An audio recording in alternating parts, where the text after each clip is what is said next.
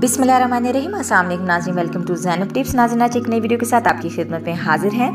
मुर्गियों को आने वाले वक्त में सख्त अंडे तैयार करने के लिए ख़ास गजाई अज़ा की ज़रूरत होती है, जिसकी मैनेजमेंट हमें आगाज़ ही में करनी पड़ती है। मुनासिब वक्त पर फ़ीड और पानी मुहैया करने के साथ कुछ दूसरे अहम गजाई अज़ा का खुराक में शामिल होना बेहद ज़रूरी होता है। मुर्गियों की मुनासिब नशोनमा के लिए शुरू ही से कैल्शियम और प्रोटीन की वाफर मकदार का उनकी खुराक में शामिल करना भी ज़रूरी होता है।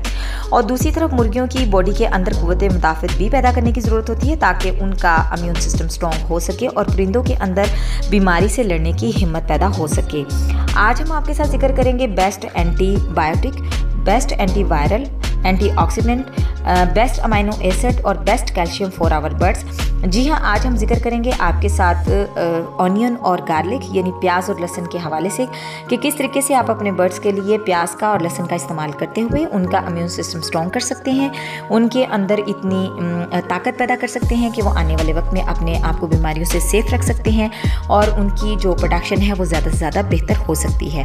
तो चलिए हम आपको दिखाते हैं। जी, यहाँ पे सबसे पहले आपने लेना है प्याज। प्याज के अपने छोटे छोटे पीस काट लेने हैं। इन छोटे छोटे पीस को आप किसी ग्राइंडर मशीन मशीन में डाल के इसको अच्छे तरीके से ग्राइंड कर लें। ग्राइंड करने की जो कंडीशन है वो अभी आपको दिखाते हैं। ये बिल्कुल आपके सामने आ गई है और इसमें आपको नज़र आ रहा है कि जूस जो है आ, उसका प्याज का आ, वो अलहदा है और जो उसका गूदा है वो अलहदा है। अब जूस आपने अलहदा करना है किस तरीके से? जिस तरीके से कि मैं आपको करके दिखा रही हूँ। इसको हल्का हल्का सा दबाते जाएँ और इसमें से जूस जो है स्ट्रैक जो है ऑनियन का उसको सेपरेट करते जाएँ। प्याज का जो पानी होता है, अगर आपने वो यूज़ करना है तो फिर आपने गुदा बर्ड्स के लिए इस्तेमाल नहीं करना। और अगर आपने गुदा यूज़ करना है तो फिर आपने प्याज का जो पानी है, वो यूज़ नहीं करना। उसकी वजह यह है कि आपने जो प्याज होता है इसका एक क्वांटिटी से ज़्यादा जब हम इस्तेमाल करते हैं तो हमारे बर्ड्स के लिए ये फ़ायदा बख्श होने की बजाय नुकसान की तरफ़ हमारे बर्ड्स को ले जाता है। तो कोशिश ये की जाए कि इसको एक लिमिट तक यूज़ किया जाए, जैसा कि मैंने आपको बताया है।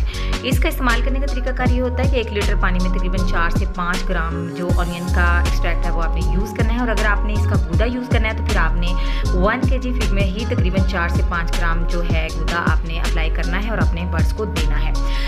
एक बात का ख़ास तौर पर ख्याल रखें कि जब आप अपने बर्ड्स को ये दें तो हफ़्ते में एक बार दें, उससे ज़्यादा बर्ड्स को ना दें और महीने में चार से पाँच मरतबा ये अपने बर्ड्स के लिए अप्लाई करें। अभी जो हमारे पास एक्सट्रैक्ट बच चुका है और जो गुदा बच चुका है, उसको भी सेव करने का हम आपको तरीकाकार बता देते हैं, ताकि वो मज़ीद पंद्रह से बीस दिन तक आप उसको यूज़ कर सकें। इसको सेव करने का तरीकाकार ये है कि इसकी छोटी छोटी सी गोलियाँ आप तैयार कर लें। गोलियों की शक्ल में तैयार करने के बाद जो कंडीशन आपके सामने आएगी, वो बिल्कुल सेम इस तरीके की होगी।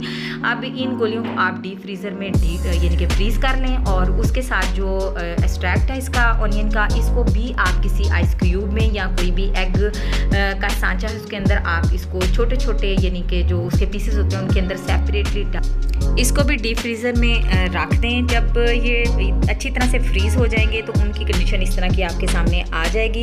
अब जो आपके यानी कि गोल गोलियों की शक्ल में आपने बनाया हुआ है और जो इसका स्ट्रैक्ट है उसको एक जगह पे कंबाइन करें और किसी पॉलीथीन छापर में इनको अच्छे तरीके से डाल के इसको दोबारा डीप फ्रीज़र में सेव कर दें। जब आपको इनकी ज़रूरत महसूस हो, जितनी भी क्वान्टिटी की आपको इनकी ज़रूरत महसूस हो, आप इसको निकाल सकते हैं और इसको आप अपने बर्ड्स के लिए यूज़ कर सकते हैं। अब ये बिल्कुल आपके यानी कि सेफ़ हो चुके हैं और जब आपको इनकी ज़रूरत महसूस हो, आप इनको निकाल सकते हैं और अपने बर्ड्स के पानी में इसका इस्तेमाल कर सकते हैं। इसके साथ जो फ़ीड है, अगर आपको फ़ीड में डालने की ज़रूरत है तो आप फ़ीड में भी इसको अप्लाई कर सकते हैं।